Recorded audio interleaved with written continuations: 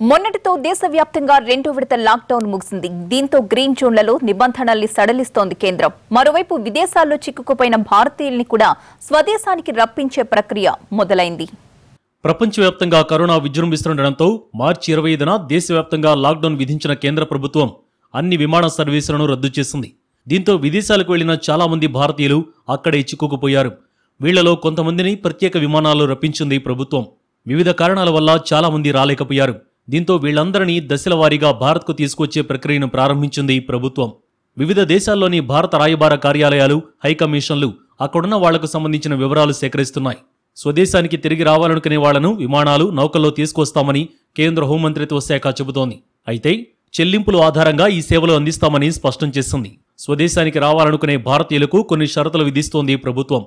ముందుగా వాళ్ళకు corona screening నిర్వహించి వైరస్ లక్షణాలు లేకపోతేనే ప్రయాణానికి అనుమతిస్తారు. స్వదేశానికి చేరుకున్న వాళ్ళంతా తమ స్మార్ట్ ఫోన్లలో ఆరోగ్య సేతు యాప్ను ఇన్స్టాల్ చేసుకోవాల్సి ఉంటుంది. అలాగే పద్నాలుగు రోజుల పాటు క్వారంటైన్లో ఉండాలి. క్వారంటైన్ గడువు ముగిశాక వాళ్ళకు కరోనా పరీక్షలు నిర్వహించి వైరస్ సోకలేదని నిర్ధారణ అయ్యాకే ఇళ్ళకు పంపుతారు. విదేశాల నుంచి వచ్చే భారతీయులకు కరోనా నిర్ధారణ పరీక్షలు క్వారంటైన్కు సంబంధించిన ఏర్పాట్లను ఆయా రాష్ట్ర ప్రభుత్వాలే చేసుకోవాల్సి ఉంటుంది.